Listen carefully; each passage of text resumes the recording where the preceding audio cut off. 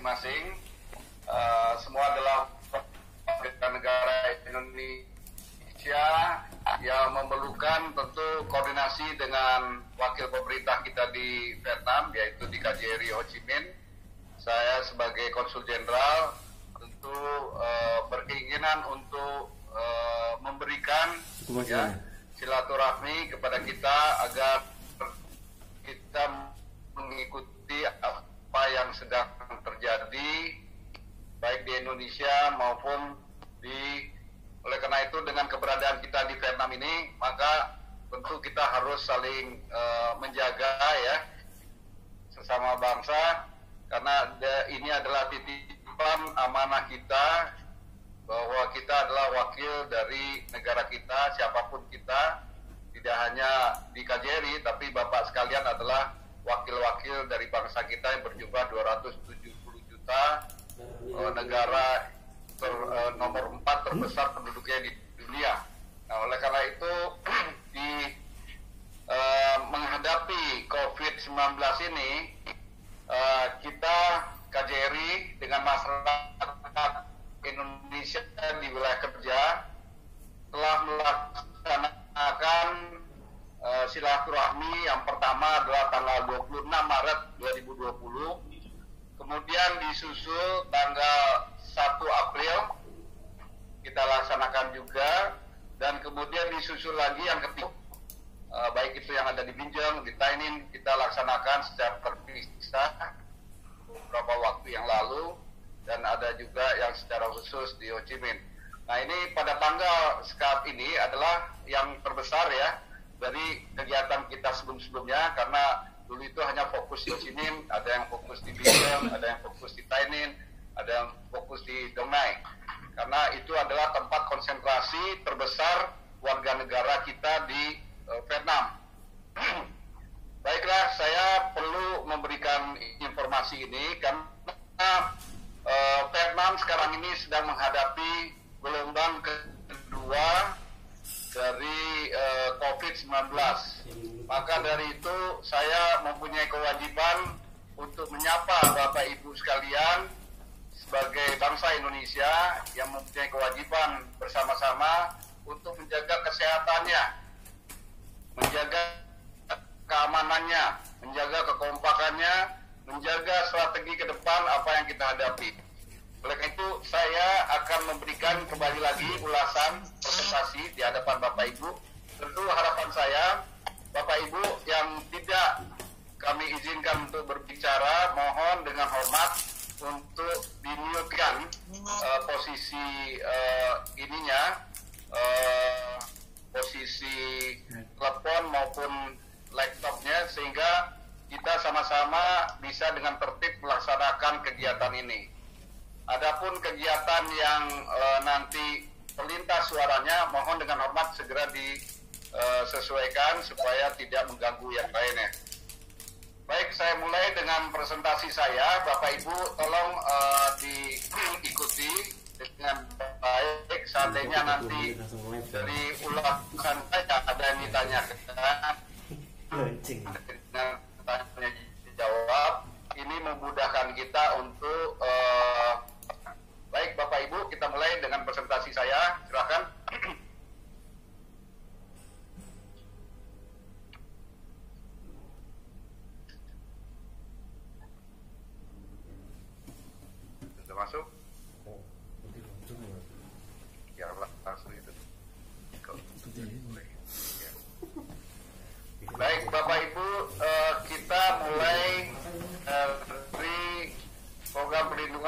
negara upaya bersama dalam menghadapi COVID-19 gelombang kedua di wilayah kerja KJRI HCC Rabu tanggal 5 Agustus.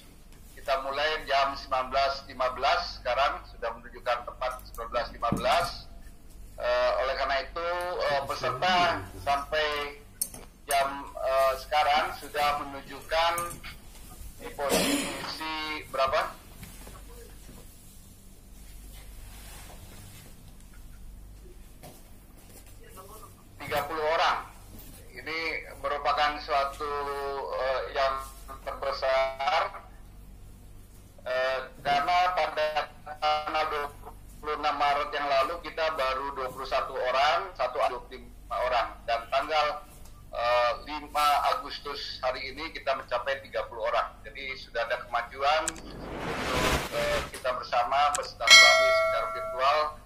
untuk saling rembuk dan saling diskusi antara KJRI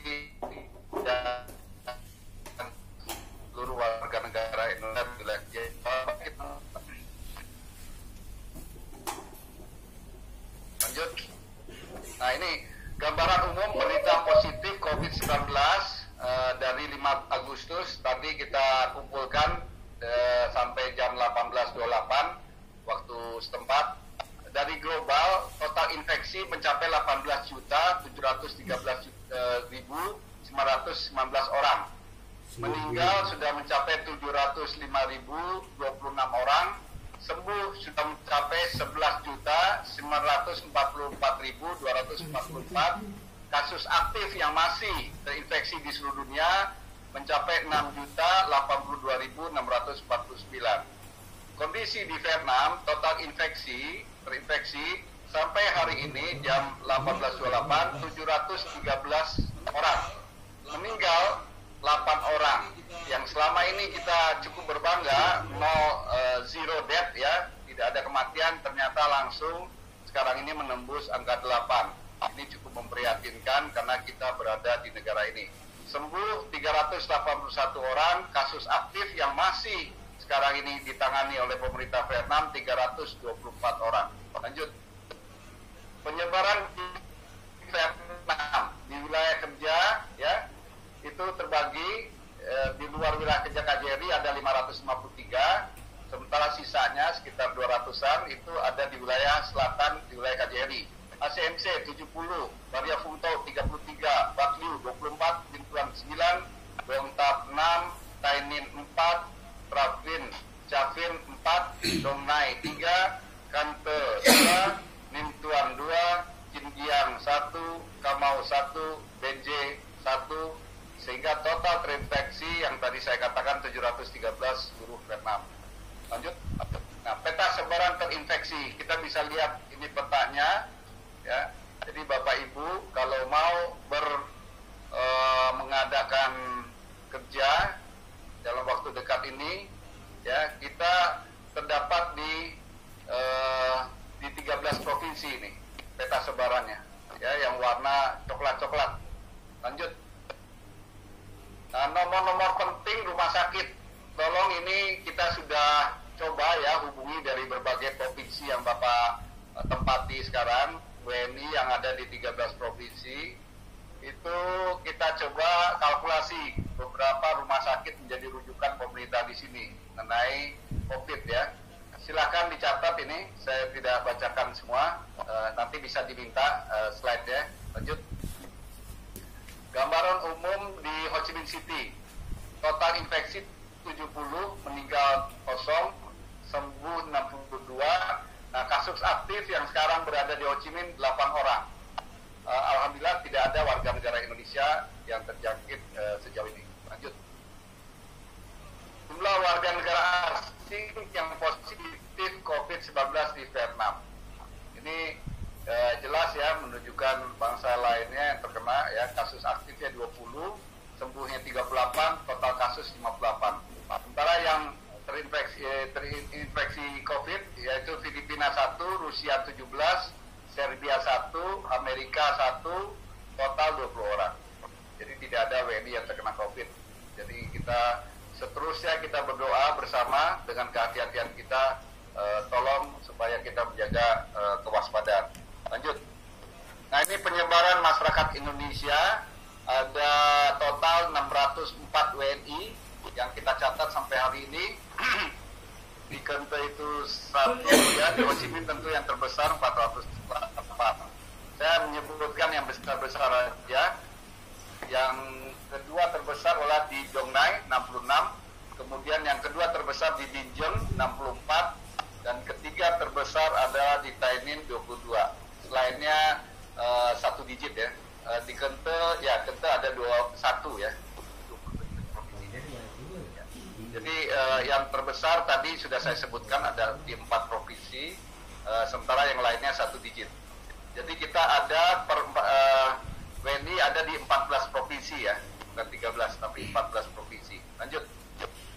Upaya pemerintah Vietnam, seperti sudah saya jelaskan sebelumnya, tanggal 22 Maret, pemerintah Vietnam melarang seluruh warga negara asing termasuk juga Vietju, diaspora, restoran keluarga masuk ke wilayah Vietnam, kecuali melalui program repatriasi pemerintah Vietnam.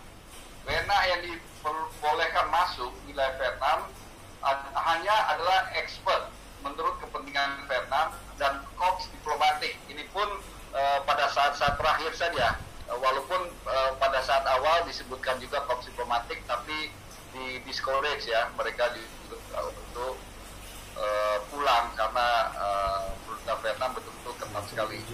Uh, warga yang masuk wa, Vietnam wajib menjalani karantina pemerintah selama 14 hari. Lanjut, lanjut. Kemudian tanggal 30 Juli baru-baru ini ya, satu bulan yang lalu, People's Committee Ho Chi Minh City mengeluarkan surat edaran nomor 2869 garis milik BPD dari uh, strip DX terkait penangguhan sebagian fasilitas layanan publik di ASNC dan membatasi kerumunan banyak orang untuk mencegah COVID-19. Masyarakat diperintahkan untuk menangguhkan penyelenggaraan kegiatan yang melibatkan kerumunan orang seperti ibadah, festival, seminar, dan pernikahan melarang kerumunan lebih dari 30 orang kecuali di sekolah dan rumah sakit. Lanjut. Nah ini gambaran umum sekarang di Indonesia. Total terinfeksi untuk memprihatinkan bertambah terus 116.871 orang. Meninggal sudah mencapai 5.452 orang. Sembuh 73.889 orang kasus aktif yang sedang ditanggulangi pemerintah Indonesia mencapai 37.530 orang. Nah, lanjut. Upaya pemerintah RI terhitung sejak 2 April 2020 menolak kedatangan warga negara asing. Kedua, menghentikan kebijakan bebas visa dan visa on arrival untuk sementara ya sampai batas waktunya belum ditentukan. Nah ini pusat kita untuk mendapatkan turis sudah otomatis tidak ada sama sekali karena sekarang tidak ada lagi visa on arrival maupun uh, visa visa. Bahkan kita Indonesia sudah lockdown ya. Jadi uh, sama dengan Vietnam kita juga ada kebijakan khusus kalau ada kepentingan Indonesia warga negara asingnya baru bisa uh, bisa masuk ke Indonesia. Selain dari kepentingan itu tidak bisa. Lanjut. Nah, KJRI melakukan preventive measures ya, tindakan sekali lagi pengamanan karena kemarin itu sempat kita mengikuti apa yang terjadi di Vietnam uh, setelah pulihnya di gelombang satu, tapi kini kita kembali lagi ketat. Setiap tamu KJRI dilakukan pemeriksaan suhu tubuh di pintu masuk, menjaga kebersihan diri dan lingkungan, wajib menggunakan masker, menghindari kerumunan dan kegiatan sosial, uh, termasuk social distancing, Dilarang menyentuh wajah secara langsung, pastikan asupan makanan sehat dan gizi tercukupi, diimbau berolahraga. Itu himbauan kita, kita kepada tamu-tamu kita uh, dengan harapan uh, mereka akan masuk dalam keadaan sehat. Lanjut. Nah ini beberapa uh, video yang menurut saya belum saya uh, sampaikan tempo hari dari pertemuan tiga sebelumnya. Mari kita tonton sebentar. Mudah-mudahan ini berguna untuk kita, kita videonya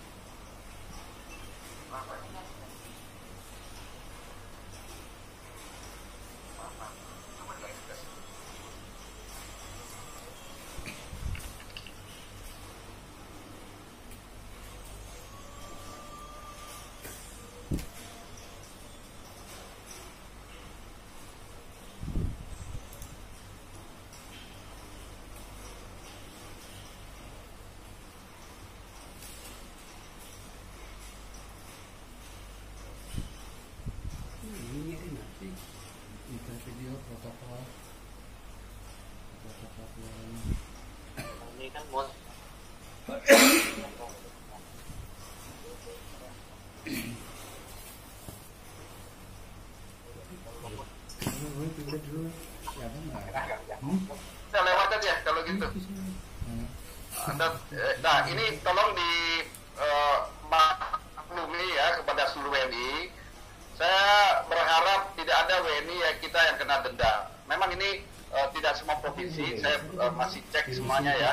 Tapi tolong waspada supaya kita tidak uh, kena denda karena kecerobohan kita. Terhitung di Agustus malam hari ini, hari ini ya, sejak pagi tadi, pemerintah Ho Chi Minh City khususnya ya memperlakukan sanksi denda senilai 100 Vietnam dong sampai 300 ribu ya 100 ribu sampai 300 ribu apabila tidak memakai masker di tempat umum. Jadi tolong ini dicamkan baik-baik ya tolong dibawa di kantong di mana pun di tas e, maskernya. Kalau boleh juga dengan kacamata anti covidnya yang di samping kiri kanannya itu tertutup sehingga kalau orang bicara tidak langsung tembus ke kena mata kita.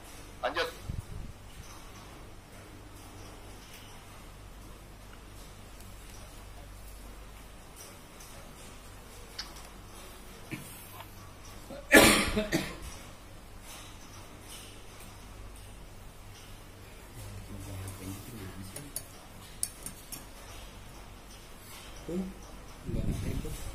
Terjun lewe. Suaranya masuk sana lagi. Kecil banget di sini yang gede. Enggak ini pagi udah berubah nih. Udah setting lagi potong-potong. Waduh.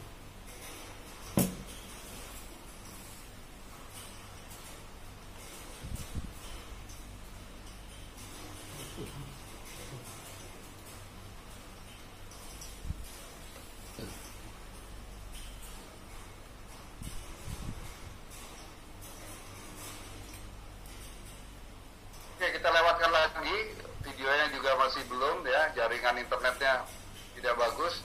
Um, gejala awal terkena coronavirus, saya kira Bapak Ibu sudah banyak tahu, tapi saya sekali lagi hanya saling mengingatkan.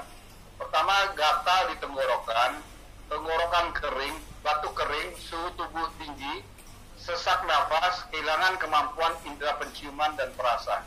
Ini kalau Bapak Ibu merasakan hal ini, tolong jangan dibiarkan, segera cek ke dokter dan segera periksakan. Karena hal ini sangat berbahaya kalau dibiarkan. Lanjut. Nah ini salah satu resep, saya kira uh, semua tahu ya, jamu sehat ala Presiden Jokowi.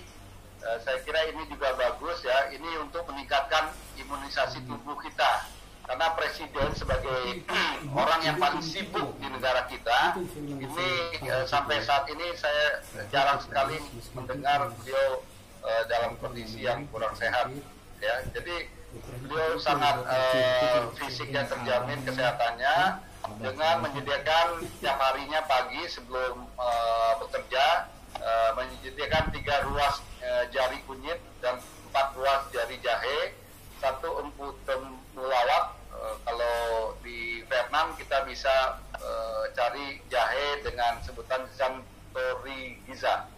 Nah ini mudah-mudahan ketemu ya. Terus ada dua gelas air hangat dimasukkan uh, yang tadi uh, kunyit jahe dan temulawaknya diiris-iris, kemudian dilarutkan di dalam air panas, dimasak, kemudian airnya disaring, kemudian bisa diminum. Saya kira ini uh, rahasia dari kesegaran tubuh Bapak Presiden kita, Bapak Jokowi.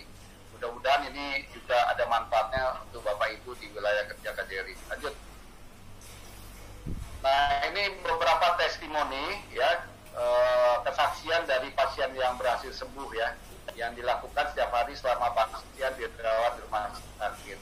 Mereka rata-rata minum vitamin C yang seribu, uh, vit minum vitamin E, berjemur selama 15-20 menit pada pukul 10 sampai 11, mengkonsumsi satu biji telur, istirahat tidur yang cukup minimal 7 sampai 8 jam, minum air putih minimal satu setengah liter per hari dan setiap makan harus minum yang hangat, jangan yang dingin. Ini mudah-mudahan uh, apa yang telah dialami oleh beberapa kesaksian pasien yang sembuh juga uh, bisa kita jadikan rujukan. Lanjut. Ini beberapa informasi saja. Kalau kita sudah berada di Indonesia, uh, kalau kita mau traveling ke Jakarta, itu syaratnya terbang ke Jakarta itu rapid test atau swab PCR, surat jalan dari perwakilan RI. Ini tolong ini untuk memudahkan nanti di pintu imigrasi yang kadang-kadang mereka bilang ini apakah sudah ada surat dari perwakilan. Nah ini tolong Bapak Ibu melengkapi dan menghubungi hotline KJRI sebelum berangkat. Saat perjalanan tentu saja pasportnya 6 bulan masih aktif ya, kemudian tiket visa yang masih berlaku. Nah, syarat ke Bali saat terbang tentu swab juga PCR, formulir kewaspadaan kesehatan Provinsi Bali itu harus diisi. Kemudian formulir dapat diperoleh pada link HTP-nya sekian ya, itu bisa dicatat. Jadi kalau teman-teman nanti tiba di Indonesia yang mungkin asal Bali, ini tolong menjadi rujukan. Lanjut.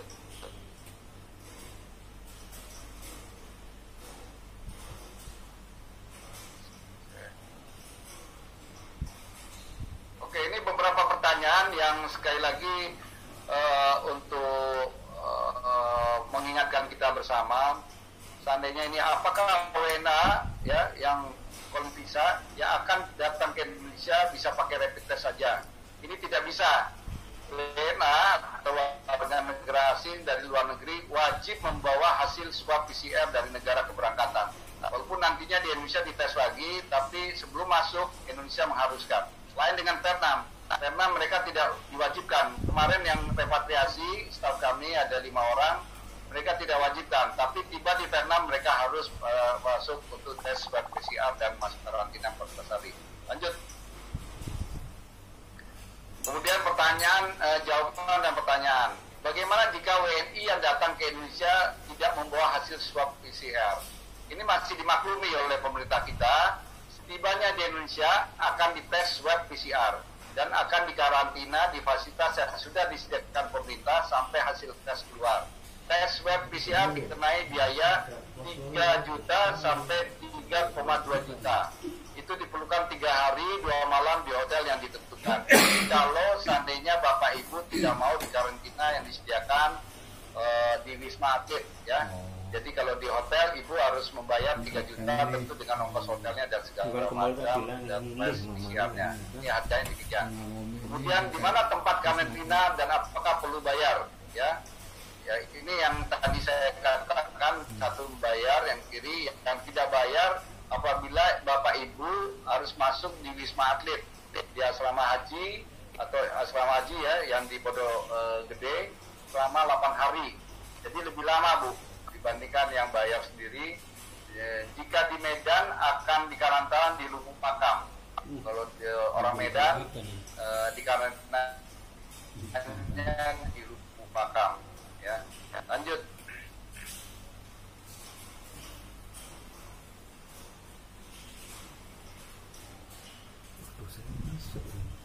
Saya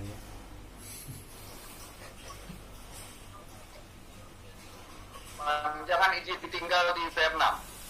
Mengutip website imigrasi silakan dibuka ini ya sebagai masukan Bapak Ibu untuk membuatnya dengan adanya kasus Covid yang baru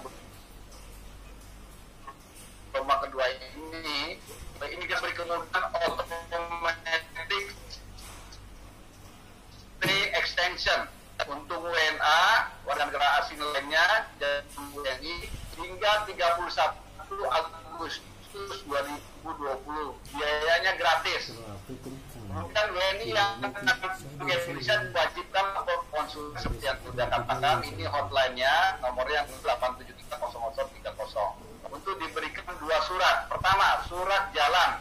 Ya ini yang selalu diminta nanti migrasi maupun di Indonesia. Kedua surat keterangan yang isinya meminta bantuan imigrasi Vietnam untuk memudahkan keluar dari Vietnam ini pun sering dihambat kalau tidak ada surat ini. Jadi informasi lebih detail hotline KJRI. Lanjut.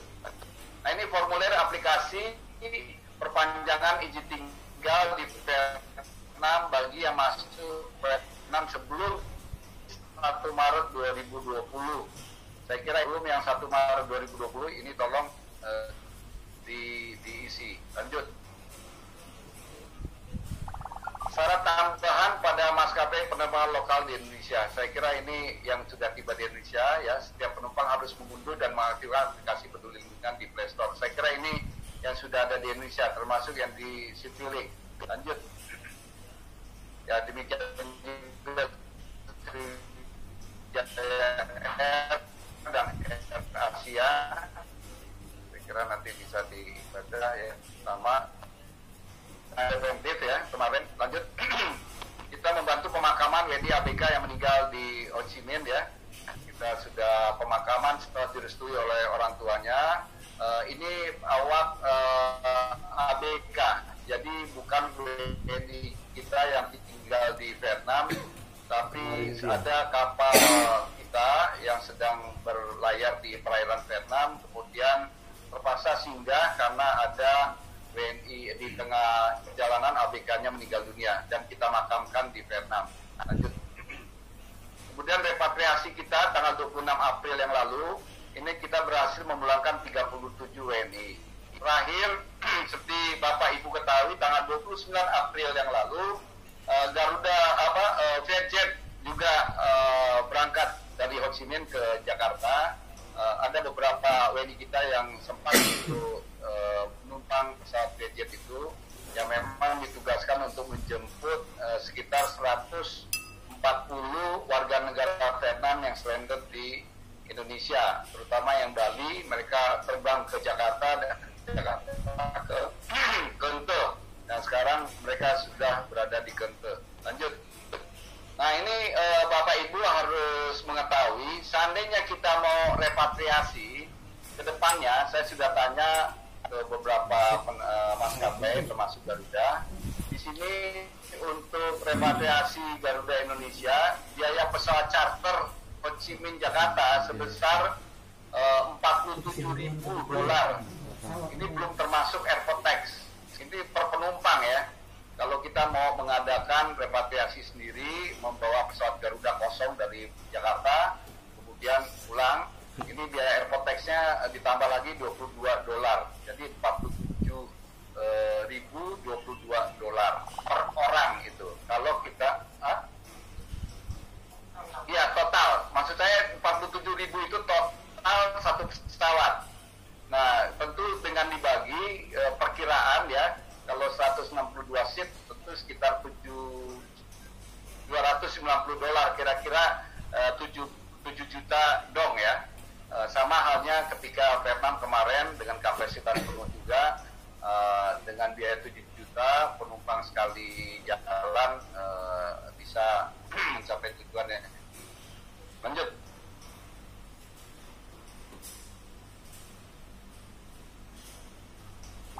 Nah ini jadwal penerbangan Ho Chi Minh Jakarta yang kita coba uh, infokan kepada Bapak Ibu yang mungkin saja uh, punya keinginan di luar dari repatriasi yang punya keinginan sendiri masih ada peluang. 7 Agustus ada penerbangan KTI Pasifik ya.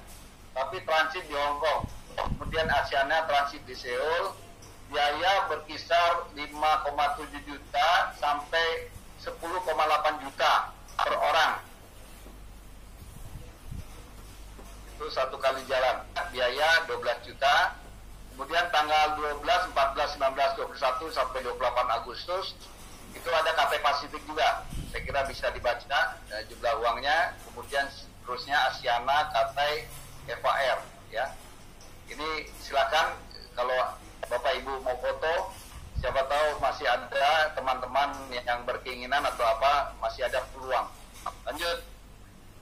Nah ini pengiriman donasi rapid test ke Indonesia kita sudah lakukan kerjasama dengan Jokowi Center tanggal 26 Mei yang lalu.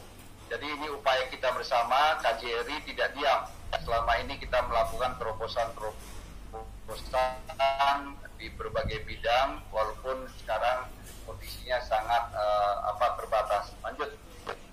Pemulangan WNI ABK kapal yang tenggelam di wilayah Vietnam ini pun terjadi di daerah uh, depan uh, provinsi apa nih? Kota Kliu ya Tempori ya. Di Bakliu ya di Socang Socang di sebelah selatan Socang uh, itu ada tenggelam kapal membawa beras uh, muatannya melebihi kapasitas. Uh, krunya ada tujuh orang tapi satu meninggal dia ada kakak tapi kakaknya yang selamat. Adiknya malah meninggal pertama kali berlayar. Mereka dari kepulauan di uh, Riau ya Kepulauan Riau. Uh, dan uh, telah berhasil kita pulangkan dengan pesawat uh, arah Hong Kong juga dengan KT Pasifik 764 transit di Hong Kong dan penerbangan ke Jakarta CX 797 Alhamdulillah kita bisa pulangkan dengan baik. Lanjut. Nah ini donasi bagi WNI yang apartemennya terkena lockdown. Uh, kemarin Pak Leo menghubungi staf kami ke sini, langsung kami adakan uh, apa uh, mengunjungi ya uh, tempat Pak Leo, tapi Pak Leo sedang uh, ke kantor, tapi ada mantu Pak Leo. Dan kami sedikit uh, apa memberi perhatian uh, mudah-mudahan Pak Leo cepat keluar dari uh, apa lockdown ini kita doakan ya. Karena ada uh, yang terinfeksi di apartemen Pak Leo. Kita doakan semoga aman semuanya untuk Pak Leo dan um, mantunya dan seluruh WNI yang ada di sekitarnya. Lanjut. Nah ini uh, pada saat COVID ini KJRI pun melakukan terobosan di berbagai bidang termasuk di sektor otomotif. Kita tetap melakukan transaksi ya walaupun di virtual. Jadi setiap hari kita tidak ada yang kita diam, kita melakukan terobosan-terobosan kreatif yang melakukan supaya Indonesia oh, tetap uh, ekonominya berjalan. Lanjut. Kemudian terobosan kita di sektor perkebunan karet. Jadi uh, kita mendatangkan suatu teknologi baru di perusahaan-perusahaan Vietnam yang berjumlah puluhan perusahaan karet Vietnam di mana katalisator untuk pembekuan karet itu dengan kualitas uh, spekta, namanya spekta, ini belum ada di uh, teknologi Vietnam. Jadi kita perkenalkan kemarin dan uh, banyak yang berminat ingin membeli. Mudah-mudahan ini dalam satu bulan laku 33 kontainer. Uh, jadi mudah-mudahan terobosan KJRI ini mendapatkan keuntungan yang luar biasa untuk Indonesia. Lanjut. Kemudian di terobosan di sektor pariwisata memang ini menjadi kendala lagi setelah adanya apa gelombang kedua di Vietnam dan masih lockdownnya. Tapi uh, kita tetap bertukar pikiran melakukan uh, bagaimana mensiasati kalau seandainya lockdown atau covid uh, selesai eh, kita sudah siapkan alternatif satu dua dan tiganya sehingga semuanya tetap jalan dan kemarin kita tutup contohnya selain Bali adalah NTB karena di sana ada uh, tempat uh, apa balapan motor ya GP ya. Nanti kita akan juga komunikasikan dengan balapan F1 di Hanoi supaya bisa uh, tandem nanti turis uh, yang ada di uh, Labuan Bajo atau di apa uh, sekitar apa namanya Mandalika ya. Uh, itu bisa juga masuk ke Vietnam atau Vietnam yang dari Hanoi masuk ke Mandalika. Ini upaya-upaya KJRI eh, setelah nanti redam ini kita tetap bisa berlari kencang. Jadi strategi ini tetap kita coba lakukan untuk langkah-langkah preventifnya, tapi kita sudah lakukan siapan eh, depan. Lanjut. Kemudian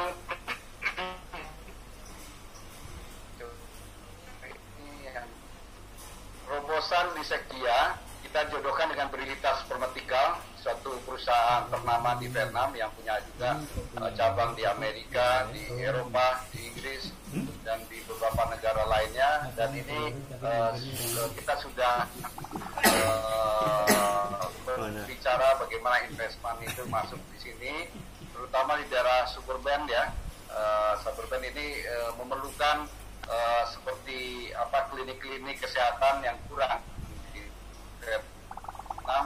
dan ini merupakan uh, saat yang paling tepat uh, masalah kesehatan adalah yang sangat berseri ya, yang sangat mewah daripada mewah sekarang ya. Orang kaya pun yang bisa mengalahkan kesehatan. Jadi sekarang ini fokus kita kesehatan adalah bintangnya dunia sekarang ini. Jadi siapa yang bisa invest di kesehatan sekarang ini dicari orang ya. Jadi ini bukan terobosan di industri kesehatan untuk bisa masuk ke Vietnam. Supaya Indonesia tetap sama Vietnam saling menguntungkan. Lanjut. Nah terobosan di sektor biji plastik ini pun sampah-sampah di Indonesia plastik Indonesia luar biasa banyaknya.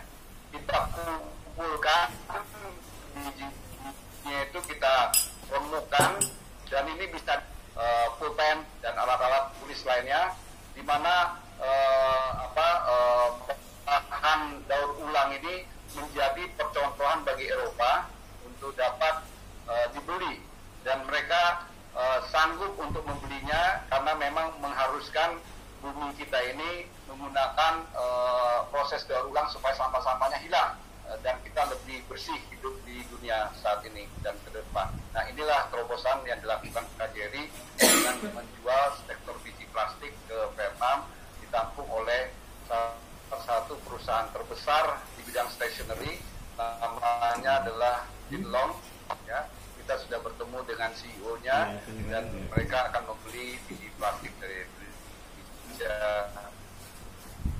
uh, dalam jumlah besar. Lanjut. Nah ini terobosan sektor industri makanan dan minuman. Saya kira Pak uh, Edwin ya sebagai kita di sini sudah memberikan ilmunya juga dan tentu saja banyak sekali kontribusi Pak Edwin selama ini terhadap KJRI dan Indonesia. Saya kira ini contoh bagi kita semua. Uh, juga ada Kokola, Pak Edi waktu itu memberikan masukan kepada apa usaha. Ternyata pesertanya melebihi 100 peserta sampai 144 peserta, tapi kita hanya bisa menampung di itu kita hanya 100 peserta. Tapi ini merupakan suatu terobosan yang luar biasa. Saya katakan bahwa uh, kita harus mencontoh